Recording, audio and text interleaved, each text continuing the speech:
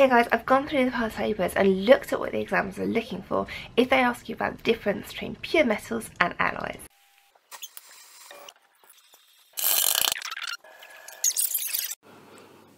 A really common question that comes up is the difference between pure metals and alloys and why an alloy will be stronger than a pure metal. Now in a pure metal we have layers and these layers can slide like this. So it's really easy for the layers of metal to slide over one another because all of the atoms, all the particles are the same size.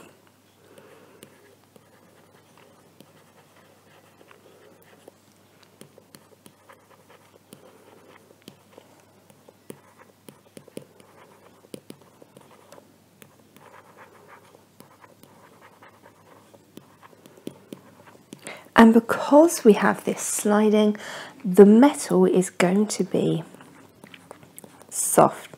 So pure metals are too soft for most uses. This is why in pyrofilms you're going to see them biting the gold coin because if they could bite into it, it was pure metal and if they couldn't bite into it, then it wasn't pure metal. It was probably an alloy.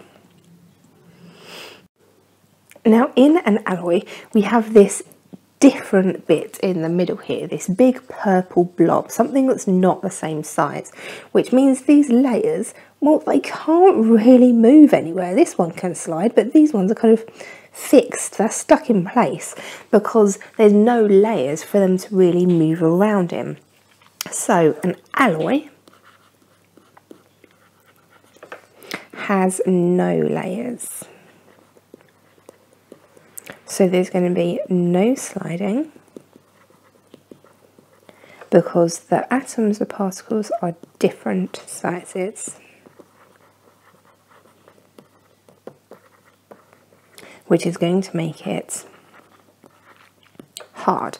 Now, the use of words in here is really, really important. Can we please, if this question comes up, make sure that we use the words layers and sliding. If they ask you to describe the properties, don't forget to use the words hard and soft.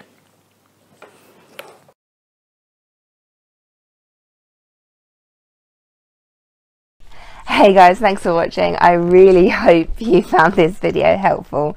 If you want to say thank you or if you want access to my online classroom, priority video requests or to deal the books I'm publishing, you can pop over to Konos or keep up to date with everything on my website.